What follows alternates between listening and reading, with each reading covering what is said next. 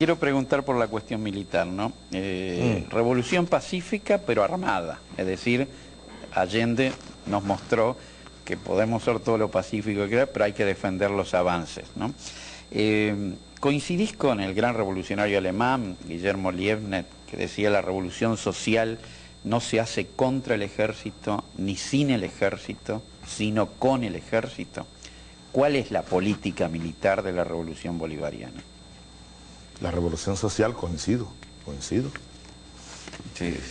Y, y, bueno, y la historia lo ha dicho.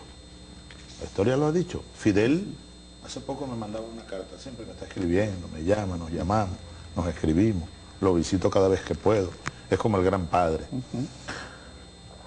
Estábamos nosotros conmemorando 19 años de nuestra rebelión.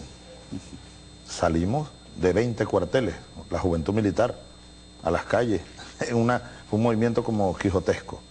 Entonces Fidel me, me mandaba, me dice, Chávez, eh, a la distancia ve- vi- veo que aquello fue como el Moncada, pero al revés, multiplicado por 100. Es decir, ellos se fueron, un grupo de jóvenes, Quijotes, a asaltar un cuartel.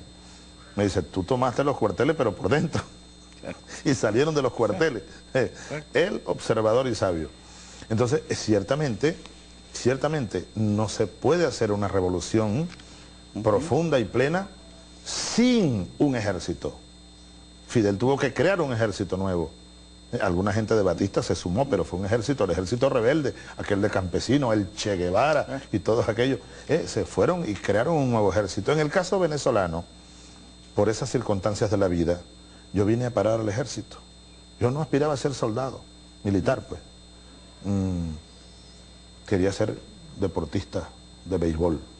Me vine a Caracas hace 40 años por esto. Por estos días hace 40 años yo andaba presentando los exámenes de admisión para la escuela militar. Y logré entrar, campesino, yo soy campesino. Eh, y bueno, y luego en el camino me hice revolucionario.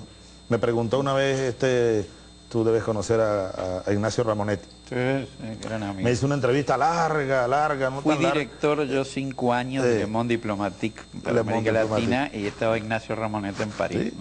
Él me preguntó un día una vez allá en, en Venezuela, me dijo, presidente, eh, por ahí se dice, leyó, leyendo tantas cosas que sobre uno se escribe. Dice tal libro, tal persona que cuando usted entró a la escuela militar al año 71, usted ya entró con el libro del Che Guevara bajo el brazo.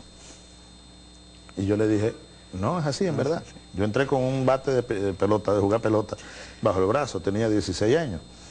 Pero lo que sí puedes escribir es que cuando salí cuatro años después, salí con el libro del Che Guevara bajo el brazo. O sea, yo me hice revolucionario en filas militares.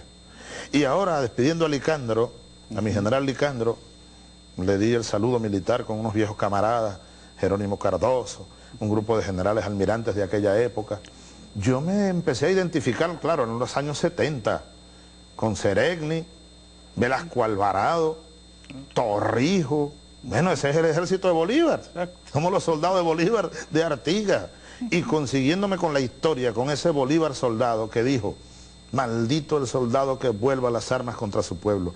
Ese Bolívar que dijo, sigo la gloriosa carrera de las armas solo para lograr el honor que ellas dan, para libertar a mi patria y merecer la bendición de los pueblos. Ese Bolívar en Santa Marta solitario, expulsado y moribundo, que dijo en su última proclama, los militares deberán desenvainar su espada, pero siempre para defender las garantías sociales. Ese Bolívar se hizo nuestro líder. Y entonces desde el año 70 yo casi me voy para la guerrilla. Yo casi me voy para la guerrilla porque recién graduado, 21 años, me mandan el año 75 a un batallón antiguerrillero. Ali Rodríguez, hoy mi ministro de Energía, todavía andaba en la guerrilla y había algunos grupos guerrilleros en Venezuela. Me mandan ahí, yo entro en contradicción profunda y casi me voy con un grupo de soldados a la guerrilla. Afortunadamente, porque por ahí ya no había camino.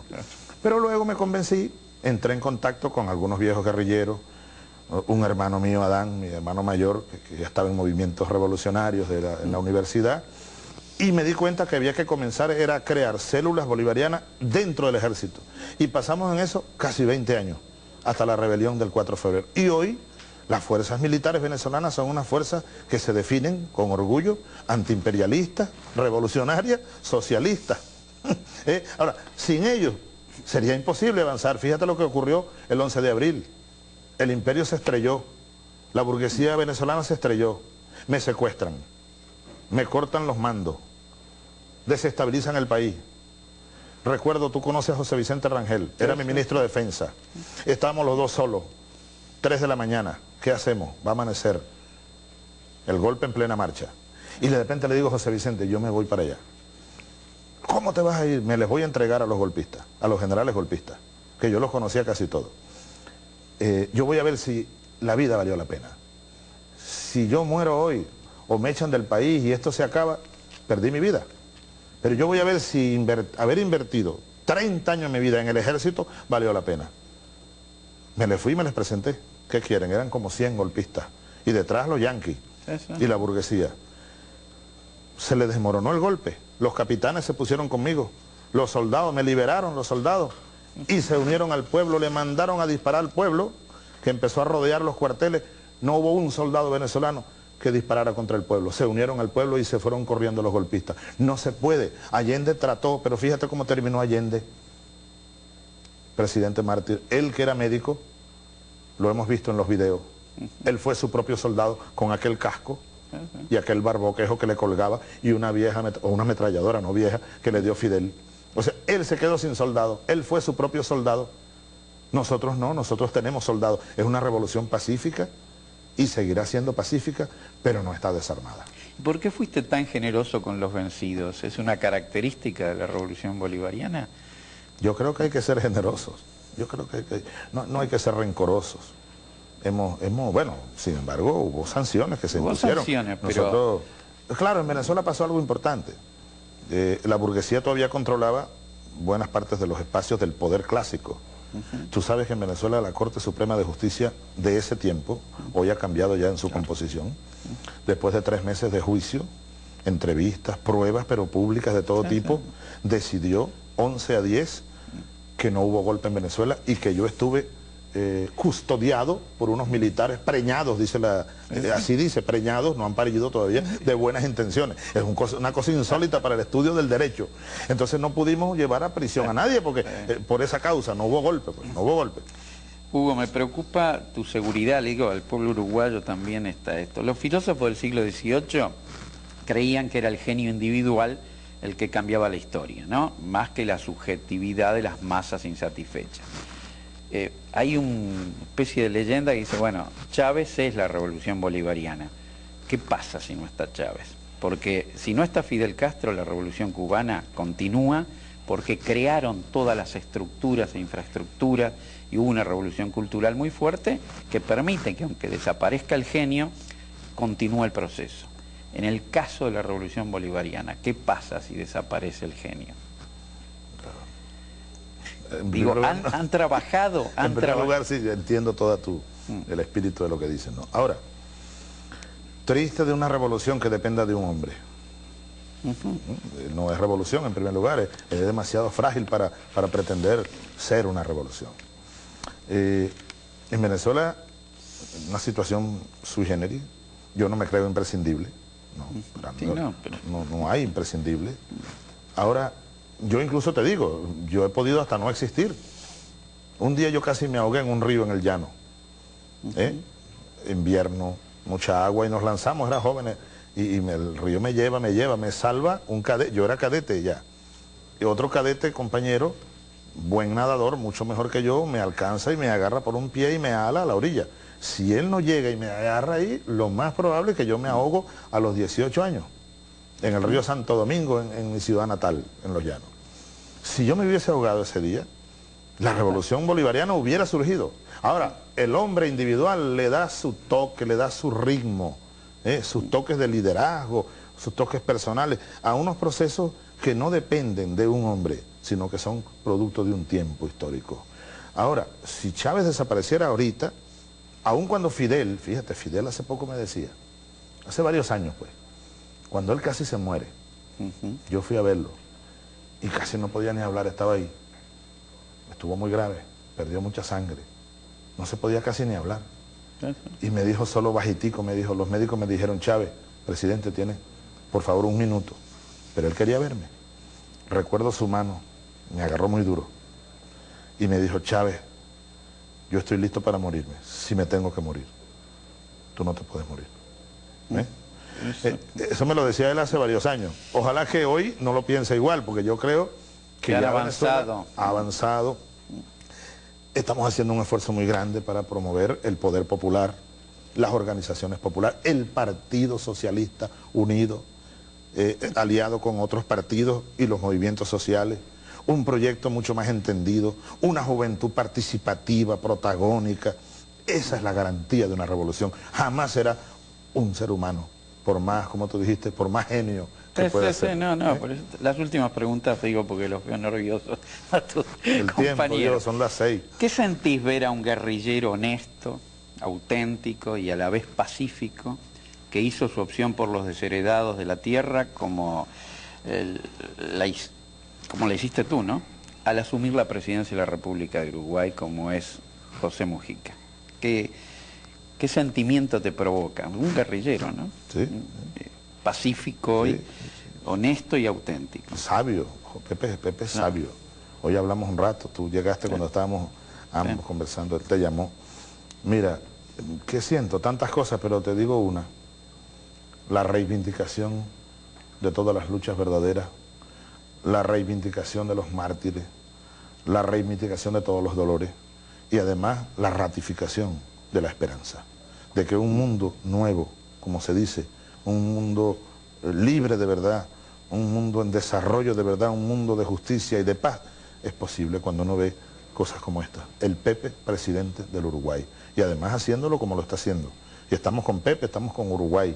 Pero para terminar por, el tiempo, Federico, el Pepe solo no podría. Uruguay solo no podría. Chávez, Venezuela, Fidel, Cuba, Raúl, solos no podríamos. Eh, de eso hay que hablar todos los días y sin cansarse. Carlos Quijano, tu amigo seguramente, eh, de Marcha, el semanario Marcha, lo escribe, por ahí tengo la cita de Carlos, Carlos Quijano, rindo tributo a su memoria. En un mundo donde los grandes dominan, donde los fuertes dominan, la debilidad es un pecado. Y nosotros, para salir de la debilidad, tenemos que unirnos. No podemos esperar nada sino de nosotros mismos. Artigas, Miranda otra vez, el gran proyecto, nació la UNASUR, ahora hay que fortalecerla, crearla, unirnos para ser libres. No hay más alternativa. Cuando llegue el último momento de tu vida, que esperemos que pase mucho, ¿por qué cosa te gustaría que te recordara? Por lo que fui siempre, yo, que pensé haber llegado al momento último de la vida, aquel 11 de abril. Ah, sí, yo estaba listo para morir, yo vi la muerte, me iban a fusilar. Me llevan a la orilla del mar a medianoche porque no conseguían dónde ponerme. Me llevan a Fuerte Tiuna cuando me entrego. Pero al poco tiempo el pueblo empieza a rodear Fuerte Tiuna y los militares jóvenes empiezan inquietos. Me llega un capitán y me pregunta en mi celda, una habitación. Me dice, mm, eh, ¿usted renunció? Eh, ¿Usted renunció? Le dije, no, yo no renuncio, solo que ustedes tienen preso al presidente, capitán. Me dijo, no puede ser, sí, es mentira entonces, no renuncio ni lo voy a renunciar. Y entonces aquello se regó entre los capitanes, los soldados, me sacan en helicóptero de noche, el pueblo rodeando eh, el, cuartel de Caracas, el fuerte Miletiuna, eh, por dentro el fuerte desestabilizado, me sacan en helicóptero a una base naval y me iban a matar, la orden la dieron, pero de nuevo yo digo Dios, pero fueron unos soldados.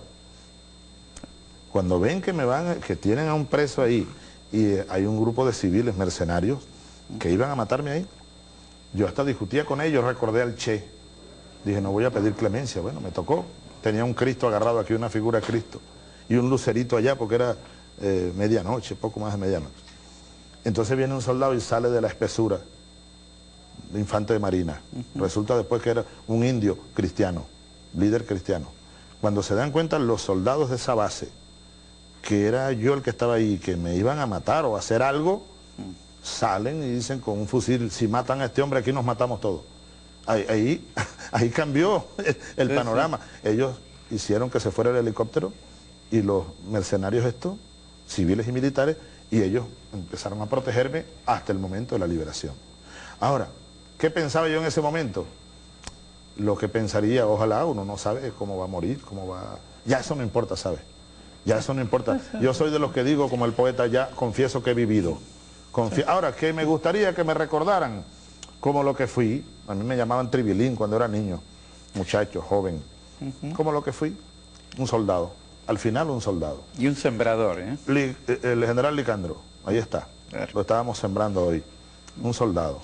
Si alguien dijera, Chávez fue un soldado, suficiente. Una última. Mar decía que la humanidad solo se plantea tareas que está en condiciones de resolver. Las tuyas parecen ser enormes por la magnitud de la utopía que te guía.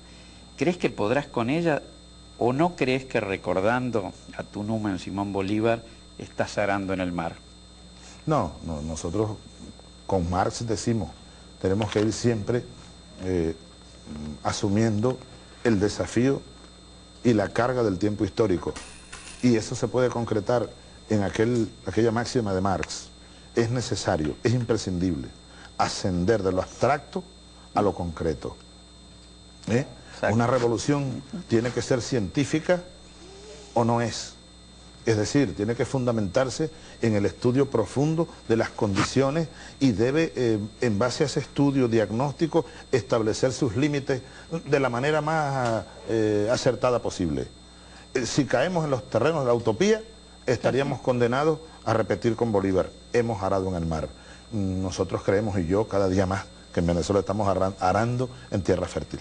Porque hay, hay con qué, hay pueblo, hay fuerza, hay amor, hay pasión, hay condiciones. O que el mar se volvió fértil con tu arado. A lo mejor poeta, tú que eres poeta. Yo te agradezco mucho todo esto. Gracias, eh, hermano. Perdón. Me parece que vamos a tener que continuarlo en Caracas, la entrevista. Cuando tú quieras. Porque han quedado ah, cantidad de temas, pero mira, ahí y todo. obviamente en una hora pasa una... es imposible explicarle al pueblo uruguayo el, proyecto histórico, pero nos hemos aproximado a ello bastante y la continuaremos en algún momento de tu peripecia. Seguro, cuando quieras ir por Caracas.